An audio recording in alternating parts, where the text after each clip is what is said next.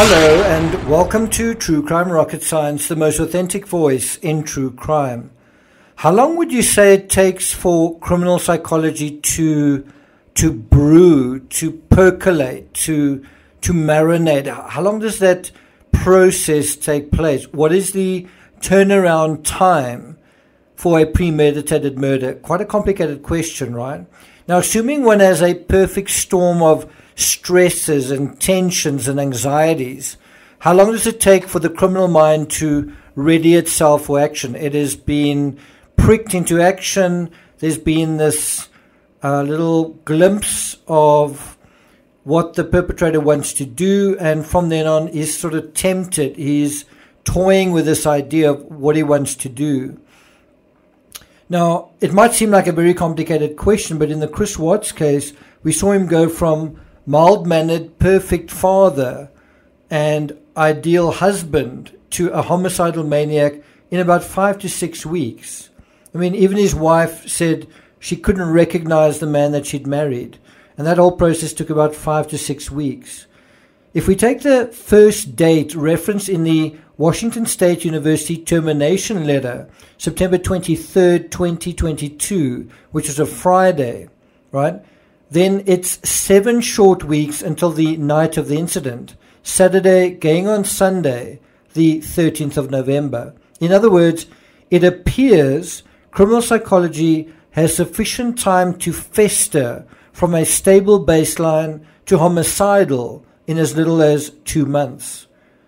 Before we get to the rest of this episode, we are going to talk about Kohberger following a female Washington State University student to a car before we get to that, if you haven't subscribed to the channel, please do. If you are interested, if you've grown to like this channel and you're interested in our journey, you can look at a live that I've just put up where we talk about our 10 year journey writing 100 books, many, many blogs, and the ups and downs of the roller coaster ride that is the true crime journey. So check that out. I'll put a link uh, to that in the description. If you're enjoying this episode, please like, share, leave a comment. You can also hit the thanks button and let's get started. So, you know, in sum, when you talk about this whole idea of Kohberger following a female student to a car, and then apparently someone complained about that, what we are dealing with is yet another incel incident. I don't think it takes rocket science to see to what extent Kohberger fits the incel profile, even if he didn't actually identify with the group. But the latest new insight that he followed a female WSU student to her car shows yet another blunder, you know, with the opposite sex from Kohberger. Although it was reported, right, although it was escalated to, I guess, his professors, it appears that Kohberger was ultimately let off the hook in that particular instance. It could be that the complaint against him was unfair or that because Kohberger was the black sheep, anything he did or, or if he did something, um, they didn't really want to cut him any slack. Um, not as much as if, let's say, somebody else did something similar. In any event, we see Kohberger is clearly trying to engage. There's so many instances of him in a social setting. He's trying, he's looking at someone, he's talking to someone, he's having some other interaction with someone, might be his neighbor, and effectively what he's trying to do is make friends. He's far from home, he's by himself, he's in a social setting, he's trying to socialize, he's doing really what he should be doing. He's trying to get his social life into gear and on the road, and yet at every turn he seems to screw it up. So, was he trying too hard? Had he been alone for too long and, and had kind of become unsocialized? Was it a cultural issue? Or was Kohberger simply not sufficiently socialized overall? Uh, or was he just a jerk? Uh, somebody with very, you know, needed to have polished social skills. Now, we do, do know that he, he had friends in high school, so it's not that he was um, objection, uh, completely objectionable that literally no one on this planet could see themselves hanging out with him. But one wonders whether the pandemic perhaps worsened his already rusty social awkwardness. And that then brings us to the trigger. Bad Teachergate was undoubtedly the trigger in this case, specifically what had to be the humiliating spectacle of being roundly criticized, shot down by 75 students. That's a lot. That's a lot of people saying not very nice things about you, right? And possibly in front of other professors as well. And perhaps the other professors felt this is, let's teach him a lesson, and this is a lesson we want uh, to teach him. So effectively, he was in front of an audience of about 150 people.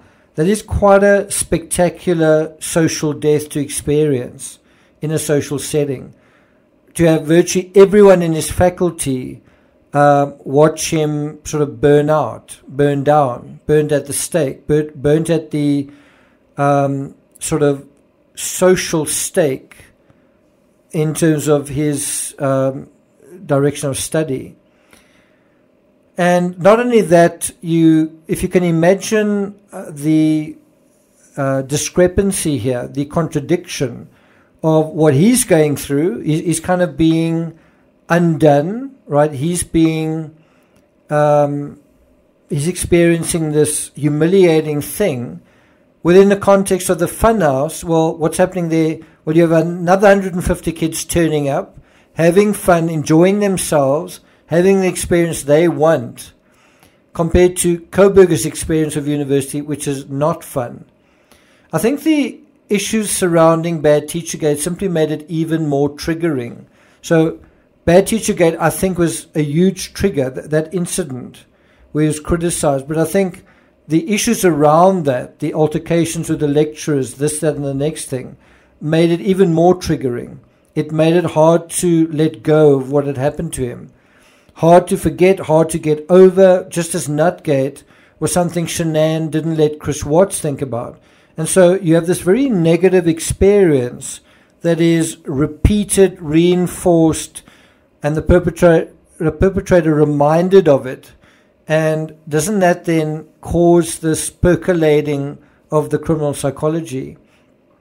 In the Chris Watts case, even during the week that he spent in North Carolina, Shanann made sure that he was fully aware of how his mother almost killed their daughter. And so he was starting to think certain thoughts. That kind of thing would reinforce those thoughts. Could you not have had a similar situation with um, Bryan Kohberger? Now, on News Nation, covering this aspect, former FBI agent uh, Jennifer Coffindaffer, she told the host Ashley Banfield, this would not answer why he did this, right? She acknowledged that bad Teachergate could have triggered Kohberger, but she kind of said that it would not answer why. It doesn't answer why? I think it does. It's because in the university setting, where everyone seems to be gratuitously enjoying um, social and other forms of intercourse effortlessly, easily. He's having a torrid time. He's having a very different experience. Not only can he not get laid, not only do his PhD peers not like him, not only do the professors not like him, not only can he not make friends, not only do his neighbors treat him like the plague, not only do the students at the Students' Union in Moscow go and sit somewhere else when he's around. But added to that, you've got the humiliation of younger students putting him in place. It's triggering in the context of the university setting. It's triggering in the context that it's a classroom setting that brings back bad memories of high school. But I think it also triggers him to his core. Once again, he feels bullied, he feels humi- humiliated, he feels emasculated he becomes ostracized, uh, and to have the faculty make that official hurts even more. So I think it, it, it sort of feels like it's him against the entire world, and I think it very much does answer why. I think at this point, if the why is unclear, it's because one has either an incomplete idea of, of Kohberger or a fragmented view of Kohberger. And I think if you've imagined him all along as a serial killer, well, you haven't really imagined him at all. Interestingly, just as there's been um, superficial, slight uh, improvements in the, you know, in terms of the timeline of the Watts case, just as you sort of saw um, some slight improvement in, in Chris Watts's marriage, where he claimed that he was going to uh, get marriage counseling, right? He said that he would read a book and, and so on. Um, you had that improvement taking place just prior to catastrophe. Kohberger also apparently showed slight signs of making an attempt to fix the situation, but all of this was after the incident. According to News Nation, quote, and this is quoting from the uh, termination letter, quote, we met again on December 7th, that's three weeks after the crime, um, this time with Professor Snyder as well as Dr. Willits and I. So he's meeting with one, two, three professors to discuss his progress, and they, they decided, although he's not doing a great job, he has there was some progress.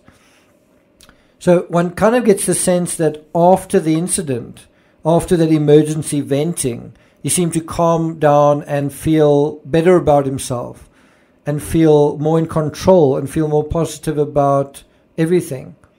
It does make one wonder did Kohberger ultimately lose his scholarship or PhD status over bad Teachergate and the altercations. One does wonder will Kohberger be able to complete his PhD from jail? Would he want to?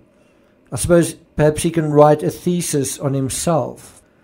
So I'm not going to take it further than that. I will be doing two follow up episodes on the Nicola Bulley case. First of all, dealing with how, how should you search for someone in water? And then secondly, we're going to analyze Paul Ansell's interview with Channel 5. Are there any red flags there? Where does that interview take us? He also talks about when he calls, the first time that he calls his partner of 12 years on the day that she went missing. So look out for that. Thank you for listening, and I'll see you guys next time.